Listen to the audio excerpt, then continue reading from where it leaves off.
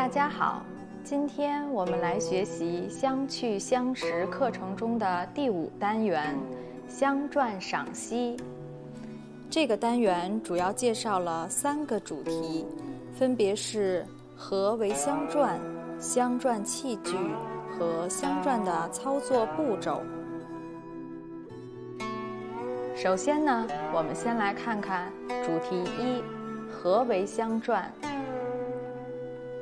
香篆又称香印或印香，古书中记载有芳香印衣、团香印衣，所记的应为制作香印的印模。宋代红厨香谱香传中记载有漏木以为之，以泛香尘为篆文，然于饮席或佛像前，往往有至二三尺径者。香篆成为古代生活的一部分，在很多文人的诗句中都曾提到过。那么，什么是香篆呢？为了便于香粉燃点，将香粉末用模子压印成特定的图案或文字，然后点燃，循序燃尽。这种方式。称之为香篆。印香篆的模子称为香拓，是专门用来固定燃点香粉的模具。古时多以木头制成，现在使用的香拓多为铜、合金等金属制作。香篆又称百克香。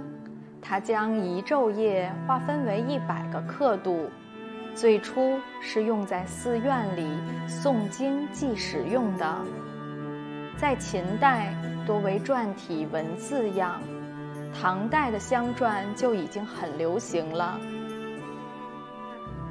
由于取用的香是呈松散的粉状，点燃之前用模具压成图形，移动模具时。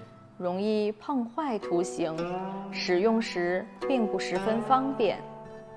因此，宋代就出现了专门为人供香印盘的服务业。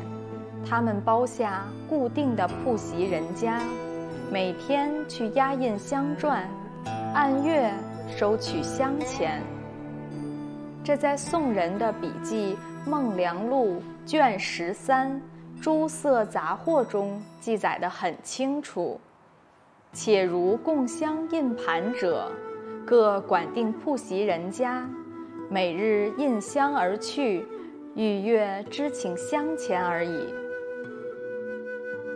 元代著名的天文学家郭守敬就曾制出过精巧的屏风香漏，通过燃烧时间的长短。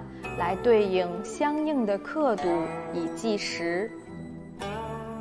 香篆不仅可以计时，还被用作是空气清新剂和夏秋季的驱蚊剂，在民间流传很广。